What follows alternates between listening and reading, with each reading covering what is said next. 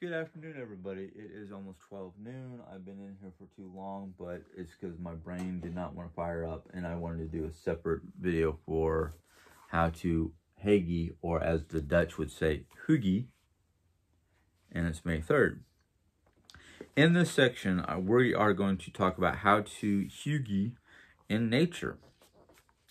And my side note is always be prepared, check the weather, and take food or drink that little side note is for if you decide to go out for a hike in nature. And I underlined sections that I thought was prevalent to this video. But it says here, let's start with the basics. Always be prepared and do your homework. Check the weather forecast before venturing outdoors. Now, the reason why she says this is because the factor in her home territory of Norway, even though she lives in London right now, the weather can change at a moment's notice. So always be prepared. Um, she did, I didn't underline it, but she did go to talk in part of this that when she wants to go clear her head in London, even in the middle of their colder seasons where it's wet and dreary and sometimes can be somewhat snowy, she'll don on um, a sweater over her, her clothes wrap a scarf around her, her neck and face, and then don on a heavy coat and go out for a walk in the crisp air.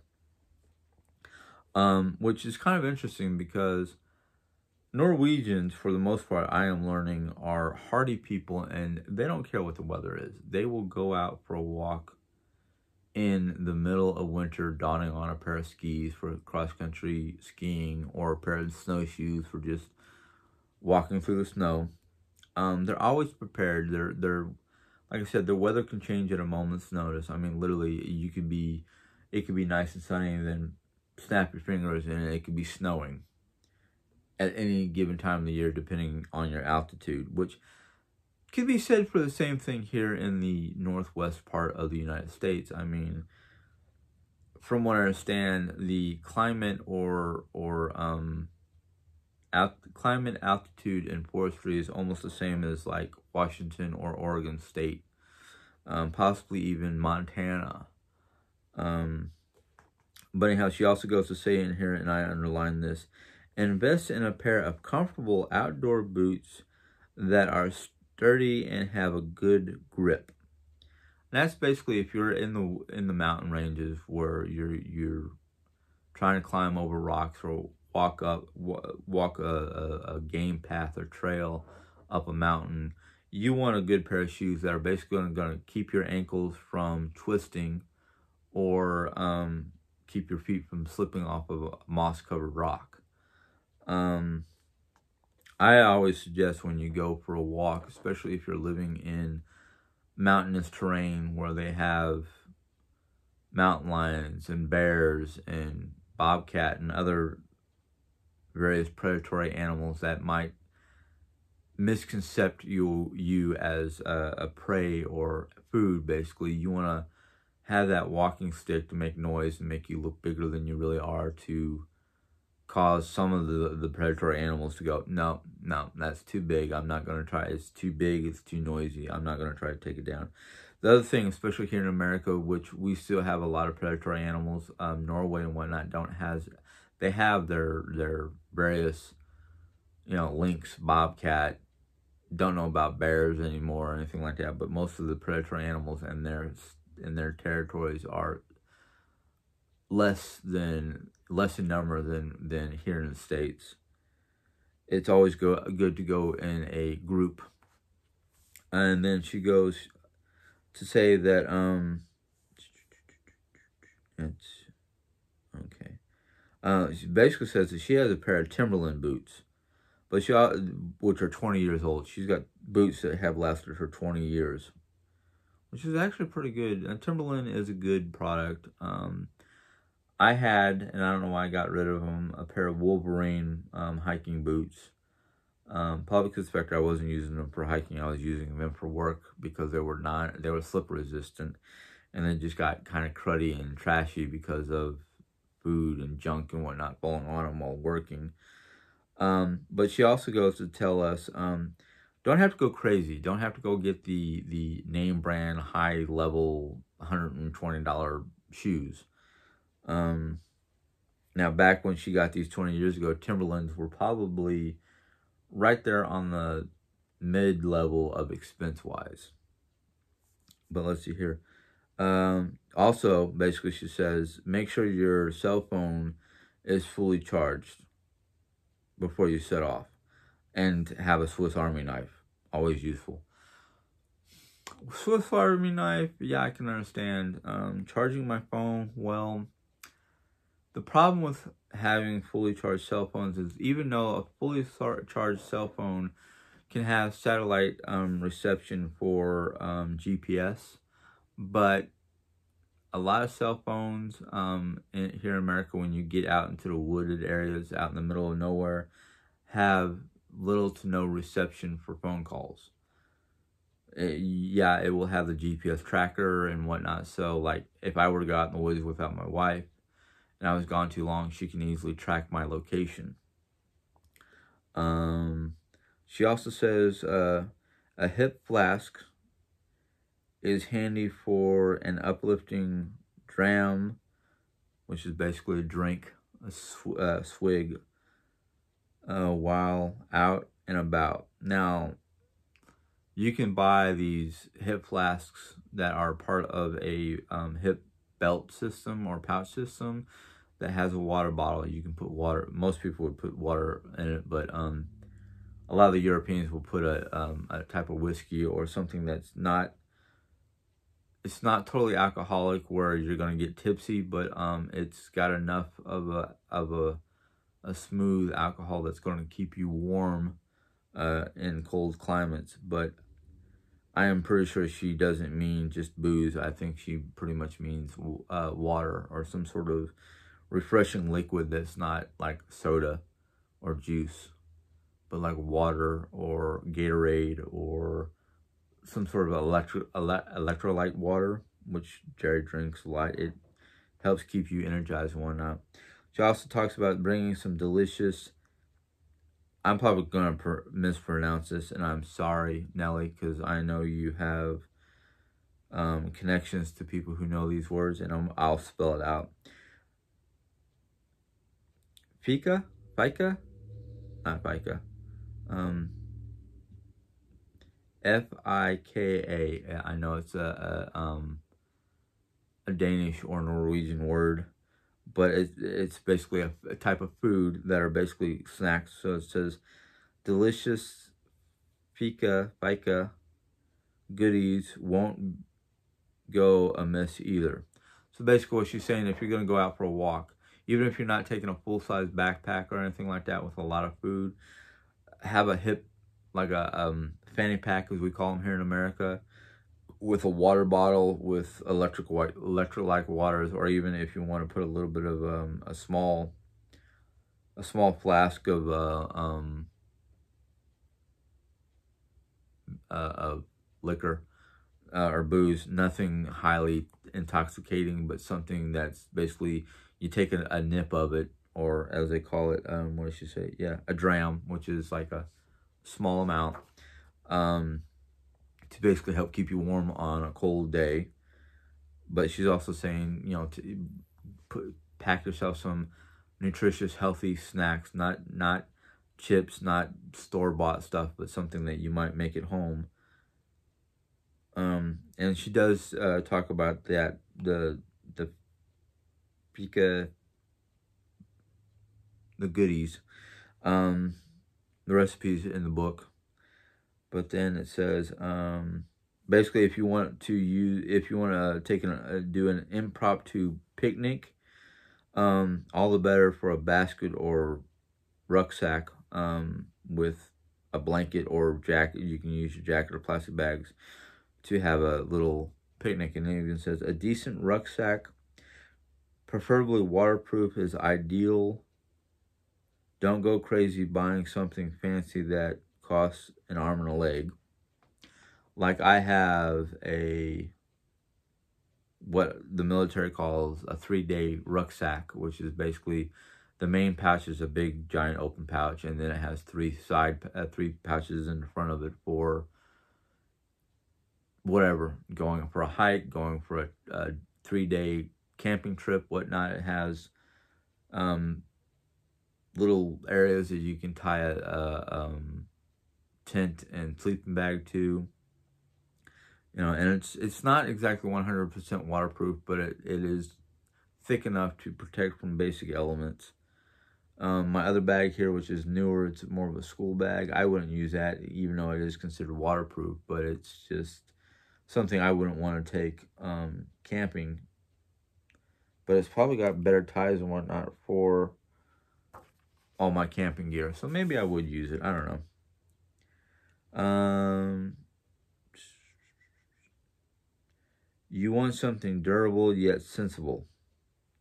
Nature doesn't care if you own the latest brand fashion accessories. The main thing is to invest carefully in a few useful items that will stand the test of time. There you go. Um, yeah. Let's see here. And then I have this whole section that I marked um, that she talks about. It says, Steer clear of any, oh, this is for the foods. Okay, yeah. This is the food items that you want to take with you on a, either a backpacking excursion or, or a, a short camping trip. Um, steer clear of any ingredients that might leave your, okay, she's talking about sandwiches, might leave your sandwiches soggy. Cucumbers, I'm looking at you. This is her saying that. Um, and any ingredients that might serve as bacterial breeding grounds if exposed to heat and sunlight, such as mayonnaise or cream. Unless you have, unless, excuse me, unless you bother to bring an insulated bag, seafood does not really do well either. And you can prove, and, a minute, and can prove to be malnutritious choice as, and she uses another um, Nordic word, matpek, matpeka. I'm probably spelling that, uh, saying that wrong. M-A-T-P-A-K-K-E, fair. Um, I'm guessing it's a Norwegian word for spoilage or something like that. I don't know. I have to look it up. Most of the salad, most of the salad and vegetable recipes listed in this book will serve as light nutrition, nourish, light nourishment to have on your adventure in nature, and more importantly, that means you can ser- save room for that F word, F I K A, such as and she writes down the items and whatnot. I marked it as travel food, basically. The muffins on page 71, 75, and 88, which I'll get to in a, in a different video. Chocolate almonds and marzipan prunes on page 89. Dark and light cakes on dark and light cake on 83. Brown butter, sugar, and malt shortbread on 76 and cardamom twists on 68 i went back and i looked at those they're just simple quick recipes um, that she did, she has written in the book and I'll tell you what they sounded great but some of the items in it was kind of like ooh i don't know if i can get that around here i'll have to look at maybe a whole food store but then we go down here and it says, try not to overcompensate things. Overcomplicate, I'm sorry, overcomplicate things. Um, then she goes to say, steer clear of those horrible so-called health treats that value virtue, that value venue over flavor. Basically, she's trying to get you to eat something that's nutritious, it has lots of good flavor, um, and they're not just cheap items that you can buy at your local convenience store that's packed with artificial preservatives and flavoring and all that kind of stuff. Um, there is simple no Hagee. Okay. There is simple no Hagee to be found in a flavorless mush comp comprising mush comprising chia seed, dates, and avocado.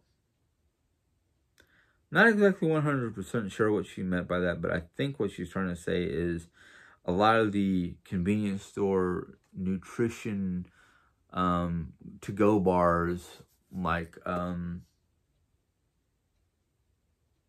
darn it, I can't remember the names of some of these bar uh, some of the things I've seen at my local convenience stores that most people grab for quick and easy on the go travel type snacks. Or easy to go throw in your backpack and take on a on a uh, hiking trip. It it's just one of those like what? Why would anybody want to eat those? Um, then she goes to say a flask of tea coffee or any boozy malted creamy hot chocolate on page 147 is always a welcome treat when you're out and about. Not only is it more economical than relying on random cater, catering options, basically what she means by that is your convenience store purchased items. But you can control what you put in your flask. And then she's got in brackets booze well, okay. Un unlike most Americans, most Europeans can handle a little bit of booze. Um, most Americans, if they, most American booze, most American alcohol, um, like Jack Daniels or Turkey Hill or those, their alcohol content is designed more to give you a buzz or a start getting you intoxicated after you're drinking a flask worth of that stuff. While European alcohol, and I'm not talking about Jägermeister, I'm talking about, oh, scotch, certain kinds of brandy, um, certain kinds of um, definitely not anything we make here in America. Basically, no Turkey Hill, no Jack Daniels, no none of that kind of stuff. I mean, most European booze, what we here in America would call hard liquor, like scotch and brandy, and um, there's another one that I can't get, I can't bring to the top of my brain. They're not designed to get you drunk unless you consume more than one servings worth. Um, they're designed to basically give you a, a, a, nice smooth taste and yeah, brandy when I first had it was like it was smooth as it was going down and then it was like whoa, there's a burning sensation. Um, it's designed to basically give you a, a you know it's a social drink, not one of those drinks that you're like just give me the bottle and I'll let and let me go type thing um, that in fact it does it I can sit down and drink a glass a substantial social amount of of of mead like I'll have a glass of mead with my dinner. And it doesn't get me drunk. It does give me that warm fuzzy feeling but not to the point where I can't concentrate or do what I have to do. But then it also makes me go okay I need to take off the sweatshirt or the sweat jacket, I'm starting to get too, I'm getting warm type feeling. That's basically what she's trying to say is European booze is meant to give you a nice flavor, a nice feeling, and keep you warm without the intoxication of not being able to walk a straight line. Um, that in fact, Europeans can handle their alcohol. Uh, let's see here. Um, but seriously, if you're hankering after some outdoor hagee and your family or friends aren't enthused by the idea, they consider join then consider joining local or local clubs or societies with people who love nature and the outdoors and plan your leisure time holiday leisure time slash holidays around these outdoor excursions. At the risk of sounding like a tourist board for the nordic countries i recommend a holiday in the region. Look into wilderness festivals that, that allow you to join a party outdoors during the warmer months or consider looking or consider booking a cabin in a secluded area of natural beauty. Um, she goes to talk in, in here that I didn't mark about how she's seen pictures of uh, cabins in Canada and various different uh, different activities or whatnot in her in the European co- countries. Like I said earlier, she was born and raised in Norway, but she is currently living in, or as of when she wrote this book, she was living in un, in London. Um, I almost said London. Maybe that's the proper pronunciation, London. Um, I don't know, but um,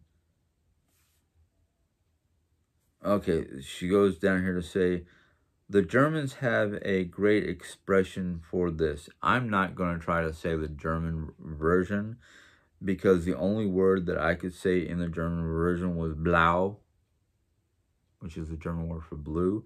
But the translation, which literally means we're traveling into the blue, and implies that there is no clear destination or purpose to our to your journey it's simply it's simply about getting out, enjoying the scenery and discovering something new. Well, I like that because there are times where people ask me, "So where do you want to go to get away?" Jerry Ann specifically, where do you want to go to get away? And a lot of times I'm like, I don't know. Because I'm not looking for uh, a destination unless I know I can afford to do what I want to do at that destination, like right now until May 30th. Muskogee, Oklahoma is having their Renaissance Fair. And I saw one of my one of the various people I view on TikTok was talking about their setup, their tent basically for the Muskogee Renaissance Fair. Like, come in and see my wares. See if there's anything that you want. And this person is of Norse ideal idealism. And she has a lot of, or I, know, I can't remember if it was a he or she, they, I'm just going to say they, had a lot of different Nordic or Norse pagan type um, stuff to buy. And I'm like, I want to go, not only because the factor of supporting another a fellow Norseman, but I can probably find a couple items, you know, probably going to be a little costly, that I would love to purchase to help decorate my new, new office. Are we going to go? I don't think so. I think our plans for this month have already been solidified by going to the graduation in um, oh, in, in Illinois. Granted, we did look at it and go, oh, it's about a four to six hour drive, depending on traffic and tolls from here to there. So I'm like, darn it. It's not a 100% no, but still at the time, I, I think, I think uh, Jerry's reason why saying no is so we can conserve money. Um, one of the other lines that I underline is you'll find that you sleep better when you've been when you've had some fresh air in the evening time. Basically, what she's talking about is Vector. She goes for walks um, in London in the evening time. She wraps herself up in the coat, scarf, and sweater that I talked about earlier to go for a nice little walk in her area of London. Um, In fact, she even says uh, the day that she wrote this it, in Bloomsbury, London, it was a chilly, crisp 39 degrees with drizzle. And she dressed up in a, wool sweater, a scarf, a hat, and her warm coat, and then went out for a walk for 20 minutes in this brisk, cold 39 degree drizzly weather uh, in London. And I was like, dang. And here I am complaining about how cold it gets around here, yet I could do the same thing she does bundle up and go for a walk. I've gone for walks around my little neighborhood. Granted, it's not in nature, and London does not have a lot of nature unless you go out of London. They have a lot of parks and whatnot with trees and whatnot, which is close to being Hagey. Um, but anyhow, there is also an uh, I also line underlined. Um, there is no need to always chase the latest fashionable fitness trend. In other words, you don't always have to go to the gym to get your your exercise, your whatever it is you're going to the gym for. Um, basically, a theme that she'll re, she'll re turn to in a different chapter. Um, introduce children to nature at a young age. Um, and she uses a, a word that I'm I can't say, and I'm not going to try to, but the translation means kindergarten. Uh, we had lessons. Oh, basically, when she was in kindergarten, she had lessons outdoors and learned about the surrounding plants and wildlife. Um, of course, I, I left a clip note to myself to look for activity groups, groups that go out and enjoy nature. She goes on, uh, she goes to say, nature can teach children about the importance of some symbiosis in an ecosystem and our relationship with the environment. She also goes to state, nurture your children in nature, teach them about risk and about adventures and about facing their fears. That's the Nordic way. Well, I appreciate she says that because factor it's what they do in in the Nordic territories. Um I think if I had children and I lived a little bit further out of town and closer to nature or even on weekends if I had kids, I would take them take my kids to go for a camping trip so they can learn to enjoy camping in the outdoors and then take them into the forest surrounding the campsite and teach them about what I know of nature and maybe even learn more myself. I'm not, I want to stop there um, because I spent a little bit too much time away from my wife and I'm getting hungry. But tomorrow, we will get into bringing nature's Hagey indoors. And there's a lot. Um, that will be the end of that particular chapter. And then Wednesday, if I'm feeling up to it, we'll get into chapter two, which is outdoor pursuits. Now, she nor I are trying to tell you how to live your lives. We're giving you pointers, or I'm giving you pointers from her book on the different things that you can do to enjoy nature and live hygge. I'm not going to say the, the English version of that word. I'm going to start trying to use more of the Nordic version or Danish, however you want to put it. But hygge is one of those things that I think we all need. We need to learn how to live happy. We need to learn how to get back to our natural roots, which is going back to nature and enjoying the outdoors. I just hope, as somebody who advocates trying to, to do what I learned from Yellowstone National Park, and what I learned in National Yellowstone National Park, and I think it was more because of the park, but I think we should do it all the time, is if you go out in nature and you bring yourself food, or anything like that.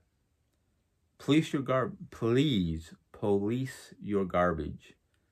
And what I mean by that is when you go out into nature, leave only footprints. Don't leave your trash. Don't leave your cigarette butts.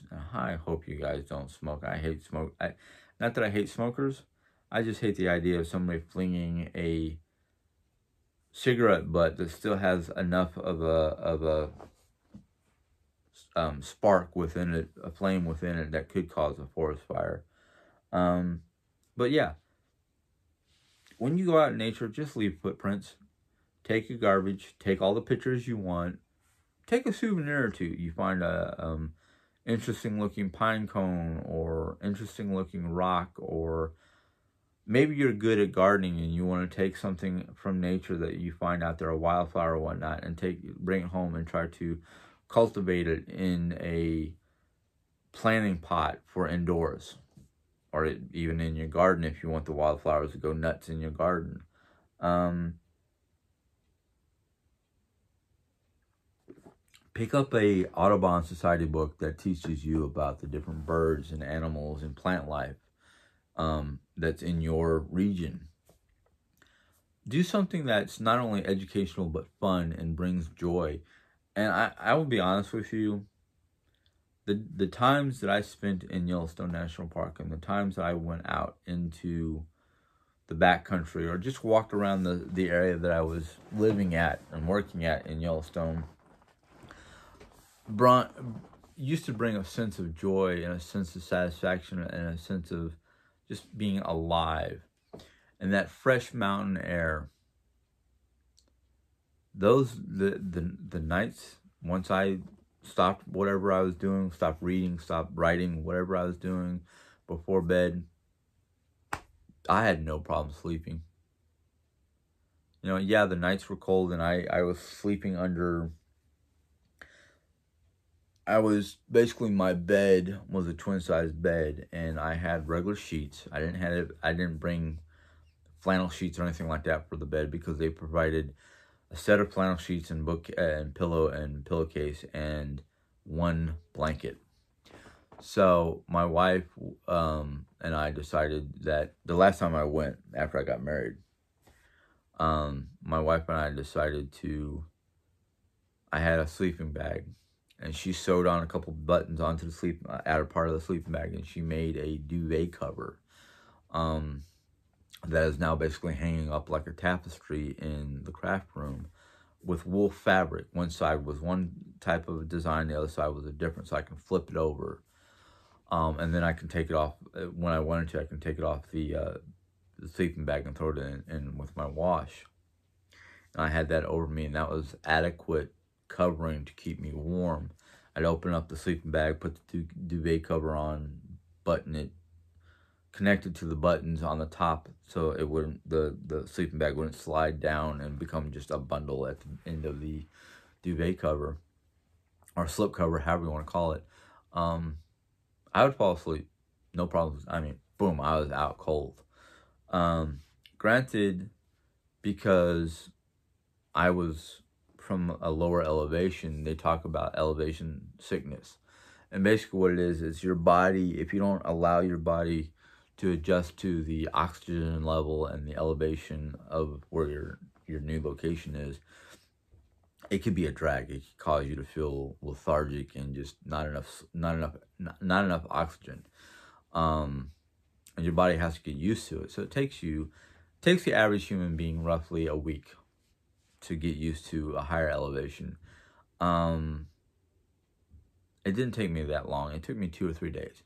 And the reason why it, took, it only took me two or three days is one, I didn't really have the chance to to just sit down and do nothing for two, for a week.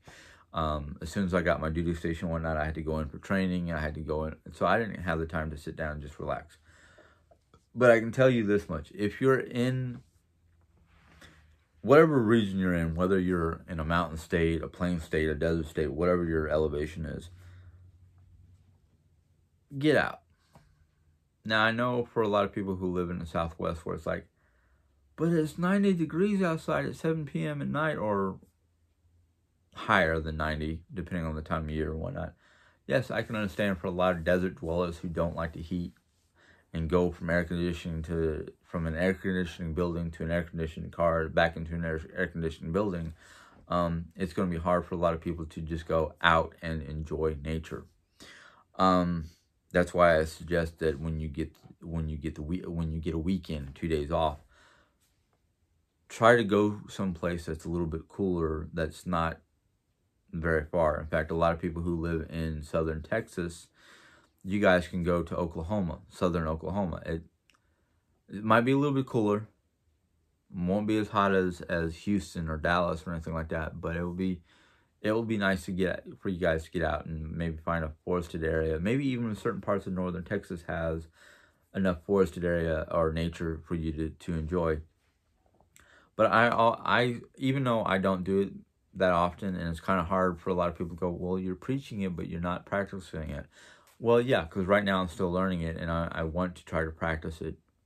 Um, I hope that you, the viewers who enjoy this, will go out and practice it.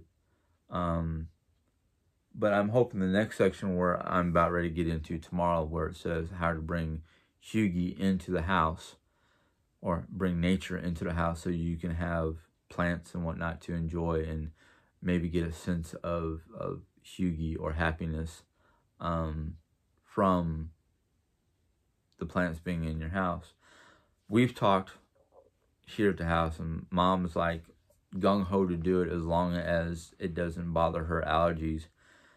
Well, I love my mom, but lately I don't know what bugs her allergies and what does not because there was one time where we had an air freshener that did not bother my allergies, but she started sneezing or having or having allergy like symptoms, and she didn't know where it was. You know, she didn't know where it was located, the air freshener. And the air freshener had a nice um, tropical bu- bouquet. Didn't bug my sinuses, so I didn't think it was going to bug hers. Sometimes I wonder, even with myself, what is actually causing some of our problems because it's like all of a sudden I'm sneezing. I don't have a runny nose. I don't have any of the atypical allergy pre pre sneezing issues. Is it psychological? Is it mom sneeze, so I sneeze? Is like a Pavlovian response? I don't know. But she's willing to allow me to experiment with different plants and whatnot into the house. And I was explaining to mom, I said, we have a one of one of Jerry Ann's uh, one of the people Jerry Ann views, and I viewed them.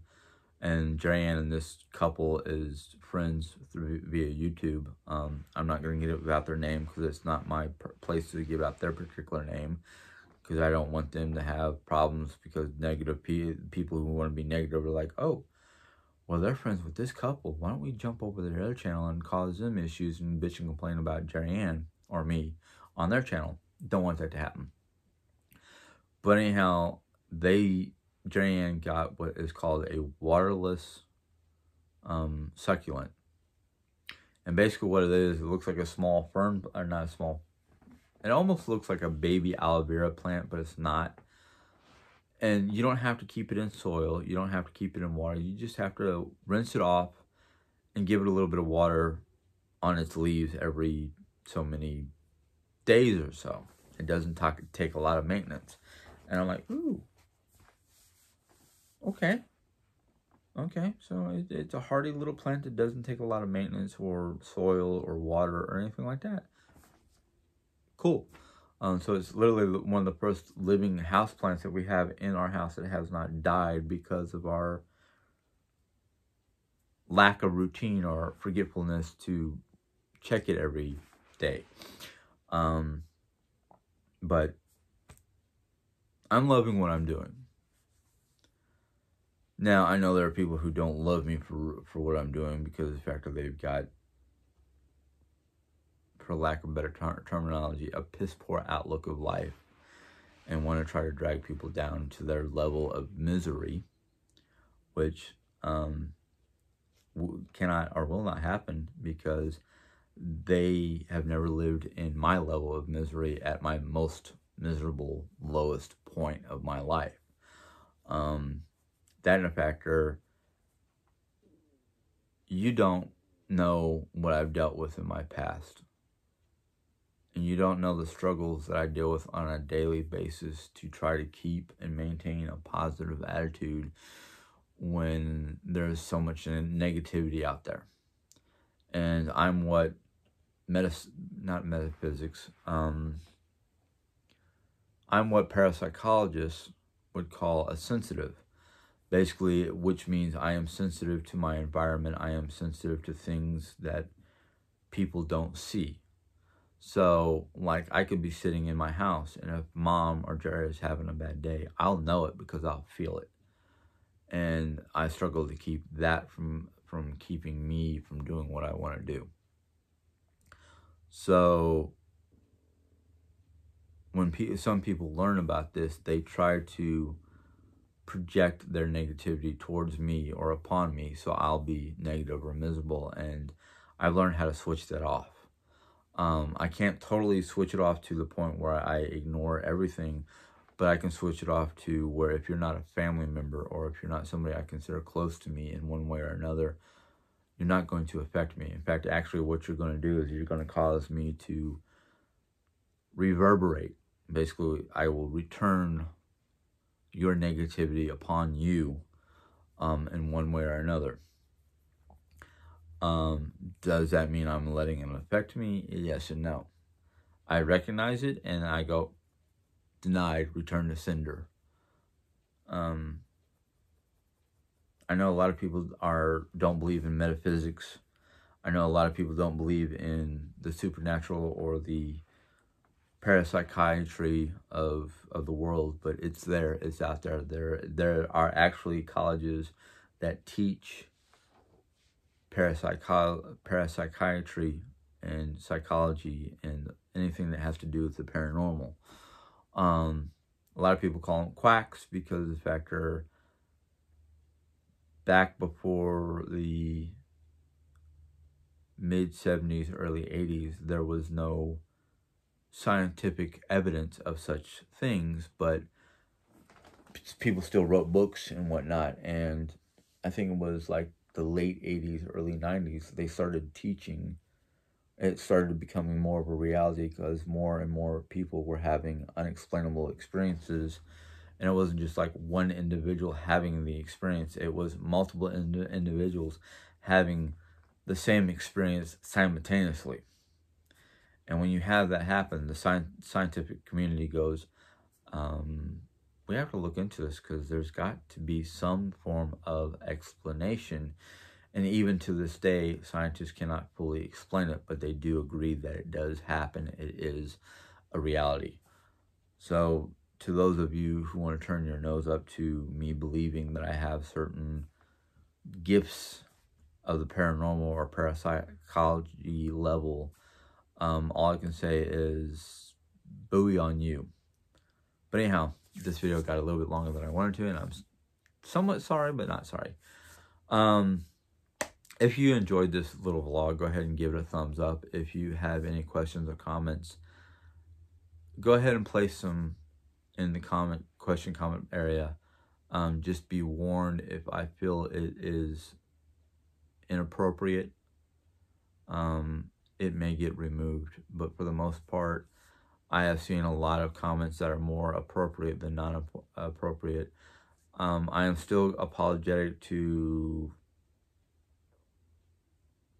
I'm sorry if I can't remember your name. I think Karen was your name. Um, you did put in a question or comment that at the time I took as inappropriate. Sorry for picking my nose. Um, and I'm sorry that I deleted it because after I spun it through my head. I was like, oh, that was not an inappropriate. It was a question, not an inappropriate comment. It was just a. I was in a bad place when I first woke up, and I just mistook it. So I apologize to you, Karen. I'm I'm seventy five percent sure it was uh, the lady's name was Karen. Um.